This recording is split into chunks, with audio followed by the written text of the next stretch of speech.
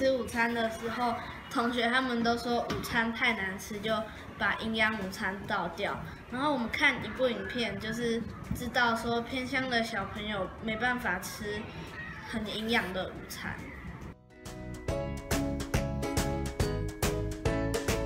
就是我们先制作问卷来调查附小现在的学生对营养午餐的满意度。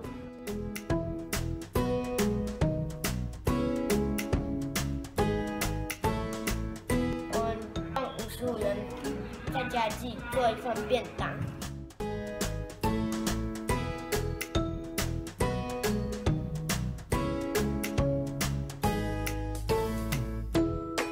发现自己用五十五元做一份便当并不容易，然后我们去入班宣导，跟大家讲说，其实还有剩食的问题吧。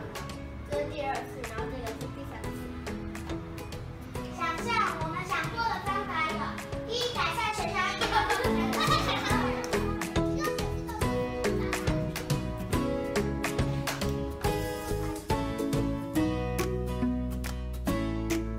营养师、同餐公司还有厨师讨论一下，食物的部分是把剩食送给弱势孩童。听了安德烈食物银行有关于饥饿问题的宣传，然后还访问了一些问题，我们可以如何加入他们的行动，或帮他们募集什么东西。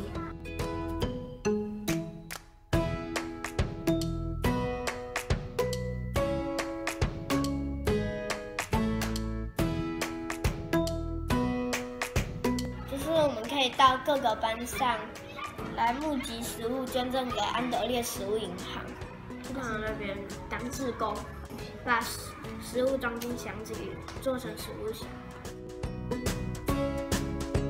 希望同学们可以知道，午餐公司他们没办法做出那么好吃的营养午餐，是因为他们只能用有限的精力。大家都不要再抱怨午餐很难吃，然后午餐又可以好吃，然后而且又营养，然后厨余也不会剩超级多。然后我们也希望安德烈给弱势孩童，若每个弱势孩童都可以收到我们那个募集的食物。